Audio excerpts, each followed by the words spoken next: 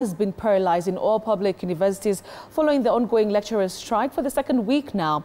now. The University Academic Staff Union has vowed to continue with the strike if the return to work formula as agreed on 26th of September this year is not implemented, as Anastasia Mukabi now tells us.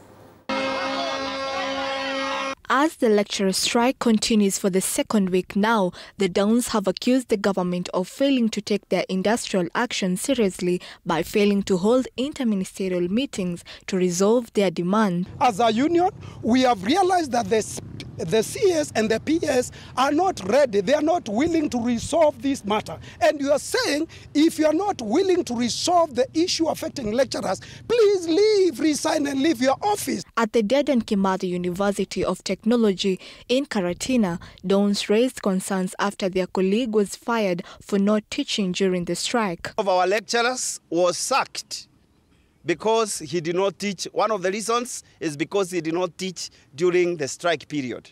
In response to this, Dons have vowed to continue with the strike and warned the vice chancellors from intimidating their industrial action that is protected. Chancellors have a union that they are using to intimidate their workers. That it's the early time they banned the midnight oil and resolved this matter. What you're asking the government to do is we have done everything.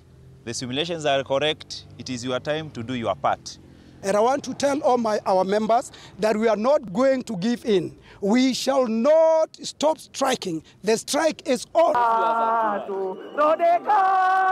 However, Moi University was supposed to open today, but the university staff blocked the parliamentary committee at the administration block, refusing to go back to work until they get their full salaries. We are demanding ndio hata sisi turudi kazi hiyo 6 months enye aliruka